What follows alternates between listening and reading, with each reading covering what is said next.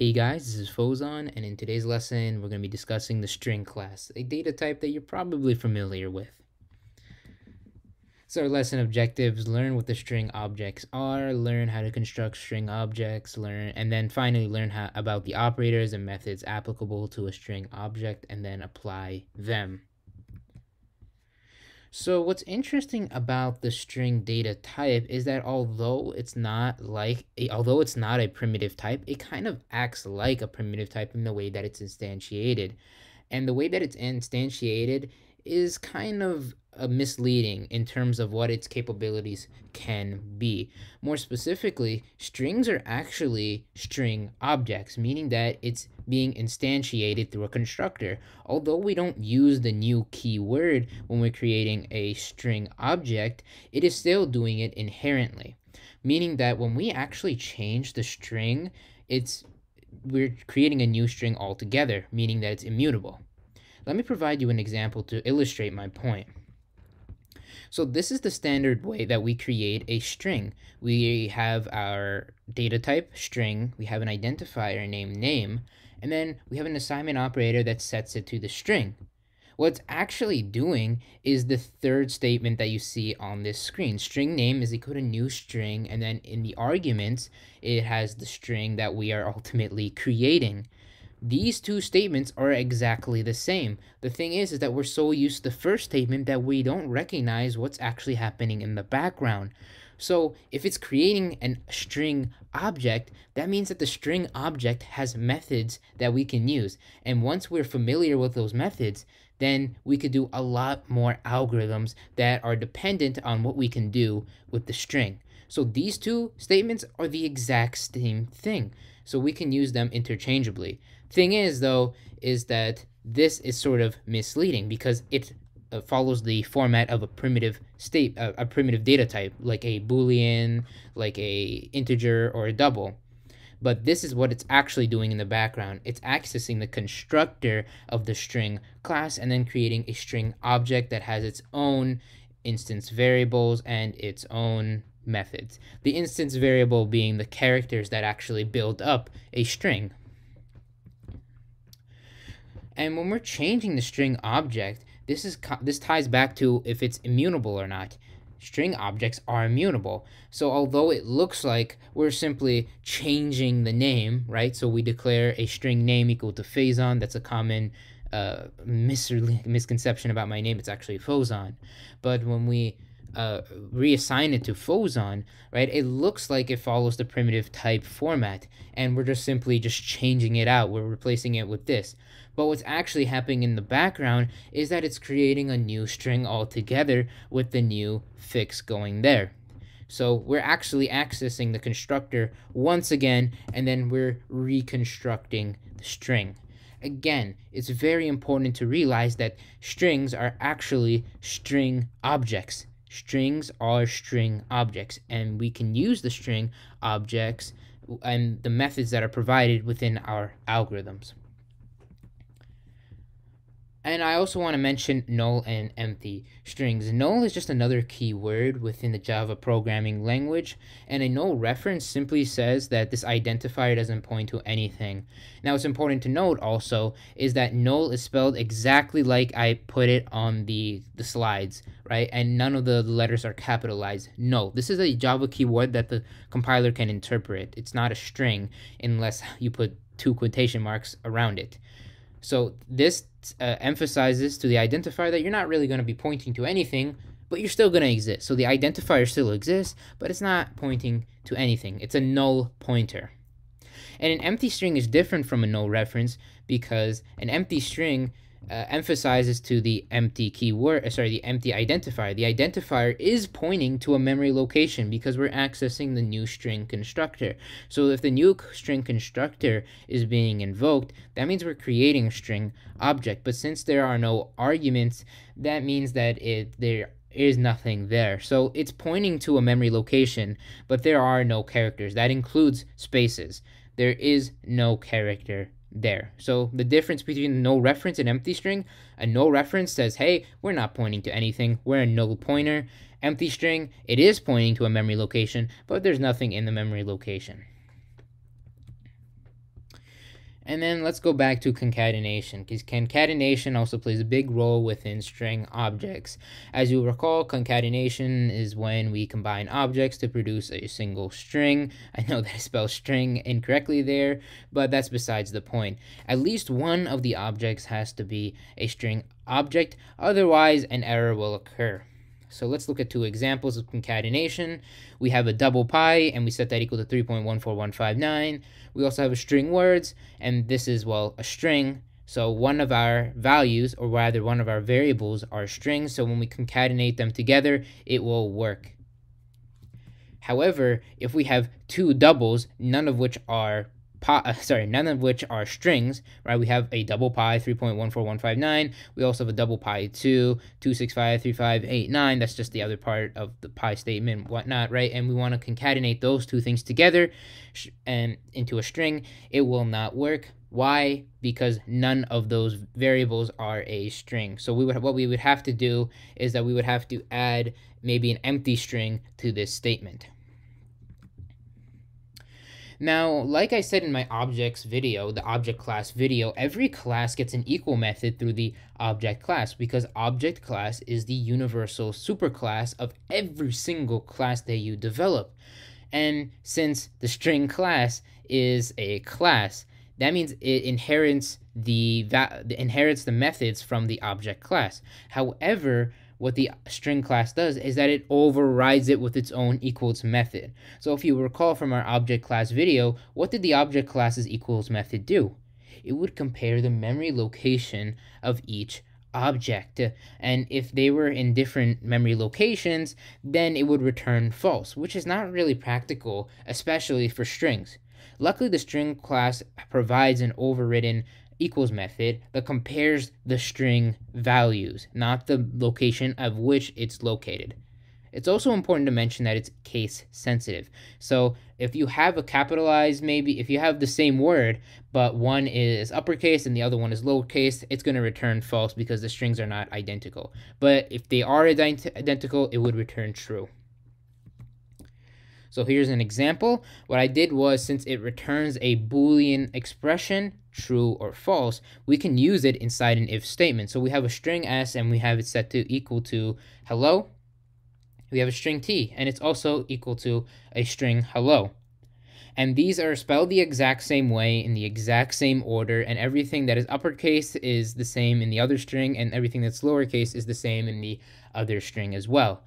So if we invoke the equals method of one of our strings with the argument being the other string, right? So when we invoke the equals method, we have to invoke the equals method of a specific string since the, we are invoking the string class's equals method.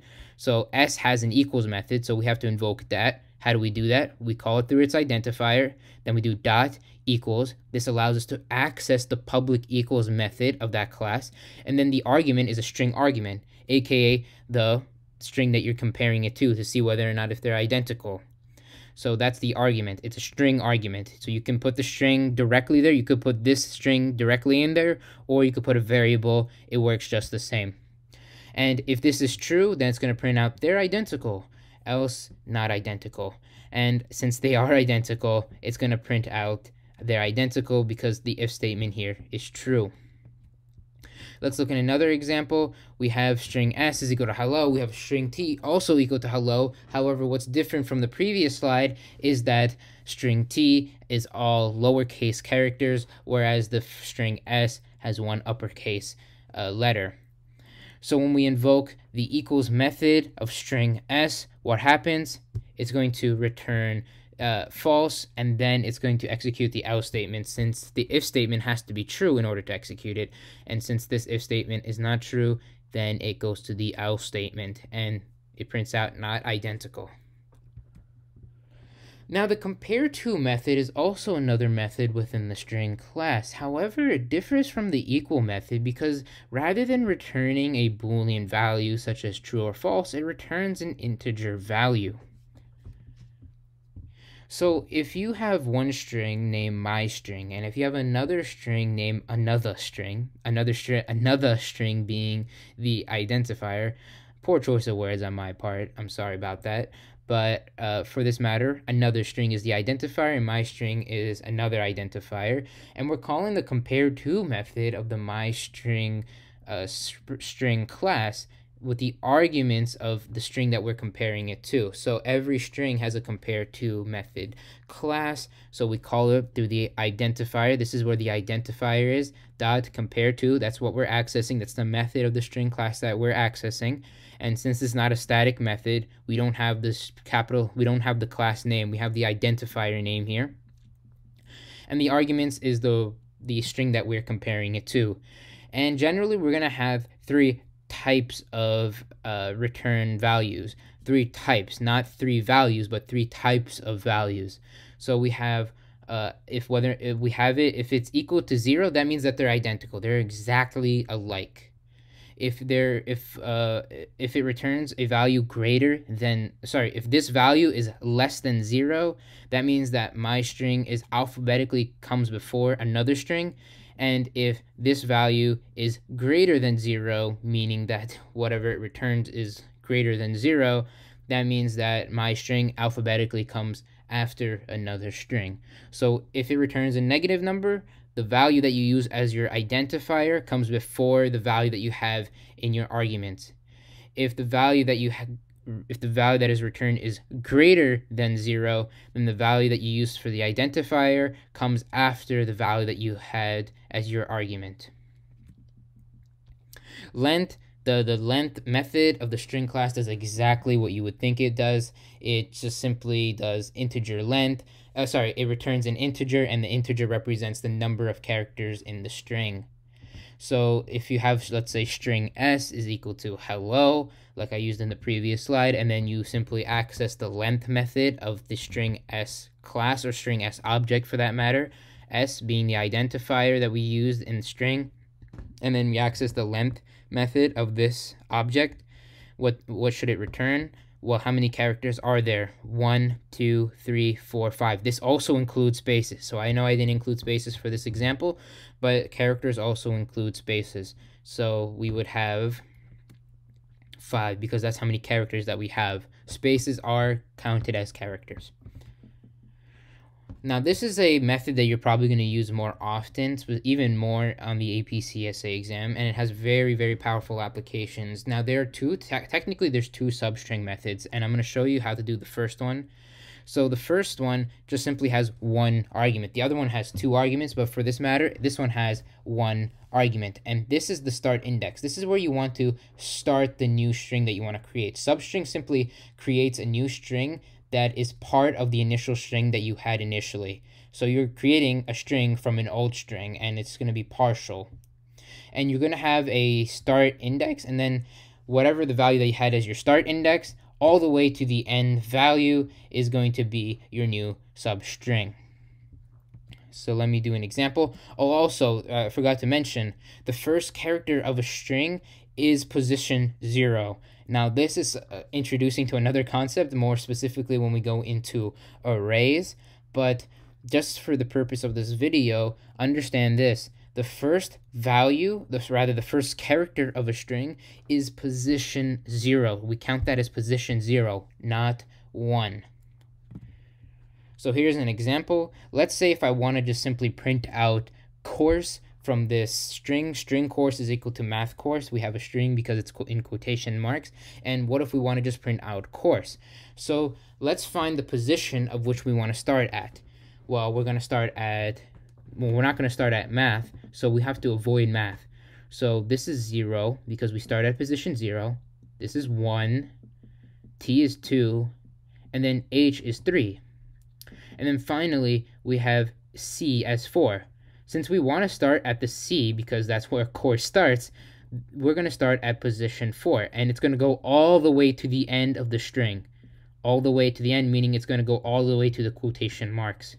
So it's going to print out course because it starts at uh, the position 4 character which is C.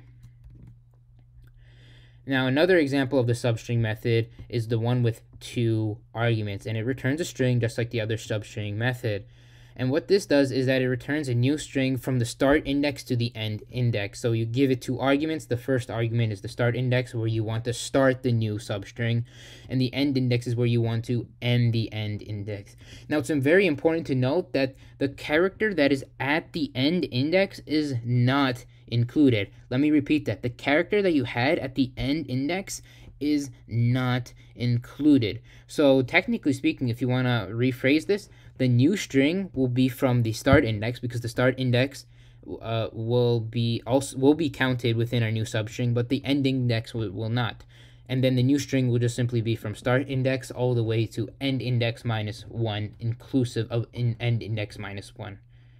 And just remember, another reminder, the first character of a string is position 0, not 1. So let's say if we want to print out math rather than course, right? Meaning that we don't want the new substring to go all the way to the end, all the way to the last, to the quotation marks that we see there. Well, we know already that math is position zero, so that's going to be our start index. Now, if we want to start at, like, let's say t, then we would have to do 0, 1, 2, and then 2 will be our start index. But for the purpose of this example, we're going to put 0 because we want to print out math. So we would have 0 as our start index. That's going to be our first argument. And then we want to print out all the way up to h. So we're going to have 0, 1, 2, 3. Okay, but we have to remember that when we use the substring method with two arguments, I know I didn't emphasize that in my title, but I am going to emphasize it within these two arguments, is that it is not inclusive. The argument for the end index is not will not include the end index within our substring. So we're going to have to add one. So technically speaking, our substring is going to end at 4. 0, 1, 2, 3, 4. C because it does not include C, luckily. So it was going to print out math because we told it that we want to end at C. It's not going to include C. It's not going to include the position for character. That's a common mistake that a lot of people make. And finally, we're going to be discussing index of. This just finds the first index of a string within another string and then returns the position of where it begins. So it returns an integer, the method name is index of, and then the arguments is string str. So we declare string and we call it hello, and then we want to print out where the position of which L is located, L being E, L, L. So what is the, where is the position of this word within hello? Well, H, nope, E, okay, so E covers this. Let's see if LL come after it. LL do come after it. Therefore, this is the first instance of L within hello. And since this is the first instance of L, we have to find where the position of E is within that statement. Well, E is 0, 1. Remember, this is position 0, this is position 1. So it's going to print out 1 because position 1 is where the first index of L begins to occur. Let's move on to the compiler and then apply these into the Java programming language. Okay, so the first thing that we want to do is show you how we can create the string object in two different ways. So we already know the normal way that we do it, the way that is co commonly misconceived because it looks like a primitive type. So we have this string name one equal to Fauzan, but we also have the the way that we are taught in this lesson. Let me do another name like that. And then we're going to do new string. And let's print out Fauzan as well. Now let me print out these two things. Name one. Then let me also just simply copy and then paste that. And then let me replace that with name 2. So we have one that's done the kind of the primitive type way in quotation marks, even though string is not a primitive type, despite acting like it when we have this statement. And then we have it the way that it's inherently done through this. So these two statements are the exact same thing. It's just that this just shows that, hey, string is an object. It's not a primitive type Whereas this one, it's like, you know what, we get a cheap pass because, you know, strings are very powerful. Everybody uses strings, so nobody will notice. But for this one, we're like, hey, strings are objects and we have our methods. So let's see if it prints out the exact same thing. And it does print out the exact same thing. They're doing the exact same thing pretty much. And if we change the objects, right, it does the exact same thing as well. So if I do name1 is equal to Faison, that's not my name, so please don't call me that. And then let's say if name2 is equal to new string, and let me add a space there. And then let me put phase on. and then we put our semicolon there. It's going to reflect that change within our print statement. Now, like I said in our video, we also have null, a thing called null references, and we also have a thing called empty strings. So a null reference is literally just null. Now, if you do it like this, it's not going to work. If you do it like this, it's not going to work either. You have to make sure that null is written like this, lowercase characters. An empty string, no arguments. And as you can see it prints out null for this name 1 but at the same time it doesn't print anything out for name 2 this is literally the equivalent of well this. Exactly. Now recall the difference between these two things. Null just simply emphasizes that the identifier does not point to any memory location and an empty string does have a memory location. It's just nothing is there. No characters are stored there rather and let's go into concatenation as well. Like I said in my video, we have to make sure that one of them are a string. So if I had, let's say, a double pi, and I had it set equal to 3.14159, and let's say if I also had maybe a double pi, and then let me do equal to maybe 3.1415926535589. I hope those are the numbers. I don't really recall them to be honest. And then I try to concatenate those two together. Again, the identifier should be different. What happens? Pi plus pi 2. That's not pi 2, that's po, po 2.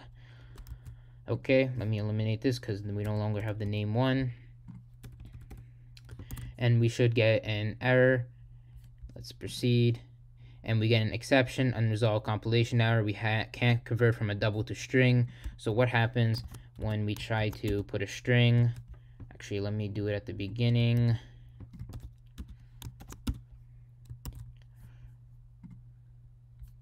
Okay. Let me remove that extra mark. Okay. And as you can see, now it's concatenating those two values together. We have a string value. You can also put a variable that's a string and it will work just the same in that regard. Let's also access the equals method of the string class. So let's say if we have a string s is equal to hello. Let me just simply copy this since we're going to be using the same hello anyway. And let's name this t what happens when we access one of the equals method, rather the equals method of one of these string values. So I'm going to access the equals method of the s string. So s has an equals method. And then within the equals method, I want to see whether or not if it's equal to t. And it's going to print either true or false. Hopefully it should print out true because those are the exact same those are the exact same strings. Let me just directly put hello into here just to show you that it works just the same as well. And we should hopefully print out true because s is in fact equal to hello exactly written like that. But if we were to change it from capital H to lowercase h, what will happen? Well, it's going to return false because it is case sensitive. As you can see, hello in the string s includes an uppercase s, and then hello within the arguments to see whether or not they're equal to each other is, well, lowercase, and it returns false because it's case sensitive, like I said. Let's also do the compares to method. So let me erase this. And instead of showing you, let me do ABC. Let me call this my string. My string. Let me do uh, another one so that it reflects the names or identifiers that I had in the slide. And then we could do ABC. Then let me do DEF. Let me access the compare to method of the myString class. So myString, we're going to access the string myString through the identifier. Then we're going to do compare to. And then we want to compare to another string. So another string. Did I spell that correctly? No, it's not another string. It's another one. Does that work? Okay, so it returns negative 3, negative 3 saying that, hey, my string comes before another one, right? Alphabetically, ABC technically become becomes before DEF. And we can simply just put DEF as one of our arguments as well, rather than going the route of the variable. Again, it will work just the same. Let's say if we put the exact same value there, let's see what will happen.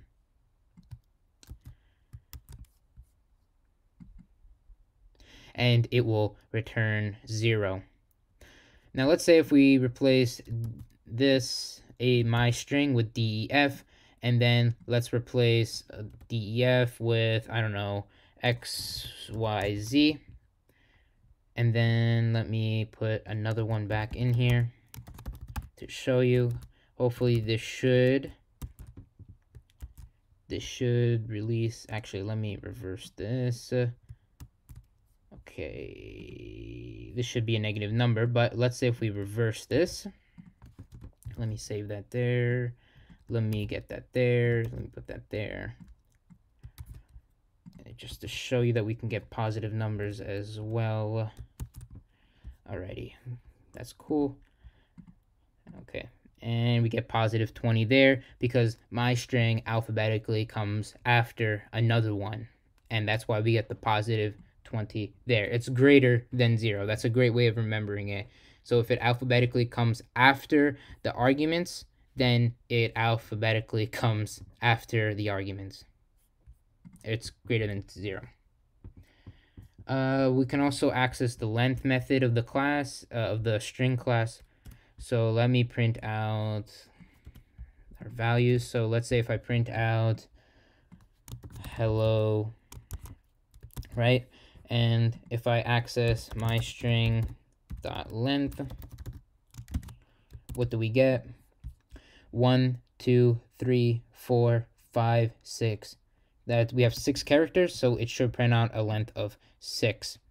And when we're doing length calculations, it's going to assume that the position, it's going to assume that the first character is one. Understand that. It's going to return the number of characters. So we do include Uh, h as 1. But when we're doing substrings, then we consider position, the first position to be 0. So if I say, hello, my name is Fauzan, and let's say if I want to re simply remove the hello, well, we have to count and where we have to count where we want our start index. So we have 0, 1, 2, 3, four, five, six, seven. Seven is going to be my start index. Zero, one, two, three, four, five, six, seven. Seven is going to be my start index. So my string, that substring, our start index is going to be 7 and hopefully that should print out my name is Fauzan because if we give it just the start index it's going to assume that the end index is just the end of the string that we have currently. And as you can see, it prints out my name is Fauzan. Now, if we did 6, it would have included the space there. So as you can see, there's no space between my bar and the string value. But once we do that, it's going to include a space as well. But let's say if I wanted to simply print out the hello statement, well, we're going to have to provide two arguments for it. We're going to have to provide a start index and an end index. So if I want to just print out hello, I need a start index of what? Zero, right? Because since hello starts at zero, so we're going to have zero. but I also want to end at the exclamation point. So we're going to do 0, 1, 2, 3, 4, 5. So, but we want to include the exclamation point. So since position 5 is our exclamation point, we have to increment 5 by 1, 6 because what the substring method with the two arguments does is that if we're given an end index, if we give it rather an end index, it's not going to include the end index within our substring. So we want to include we want to include the exclamation point, and that's at position 5. So we tell the compiler that we want to end at position 6, and it's not going to include this space, even though you probably won't see it within our end statement. Actually, just to show you, I might as well just remove this and hopefully it should print out hello. Finally, I want to show you within the compiler how to check for index of. So if I actually let me just use this example for this matter, right? And then I access my string dot maybe index of let's say if I ask for the index of hello, then it's going to give me position well zero. But if I ask it for let's say a position of hello, it's going to give me position 1. We can further expand upon this and say, hey, let's find the position of Fauzan. That's going to be a long calculation, 0, 1, 2, 3, 4. Actually, let me, uh, let me find out what it is. It's 18. Let's see if it's true. 0, 1, 2, 3, 4, 5, 6, 7, 8, 9, 10, 11, 12, 13, 14, 15, 16, 17, and 18. So yes, that is the start index. 18 is our start index. But let's say if it can't find the value that we want, so let me put that there. That's a string that's not within our string value. So if we try to access it, what does it return? It returns a negative one or a value that is less than zero. That's important to mention because less than zero can be the way that you can determine whether or not if a string is within your value, or rather if a string is within your string. That wraps up my video on the string class. I hope that this makes strings more useful and more practical within your algorithms.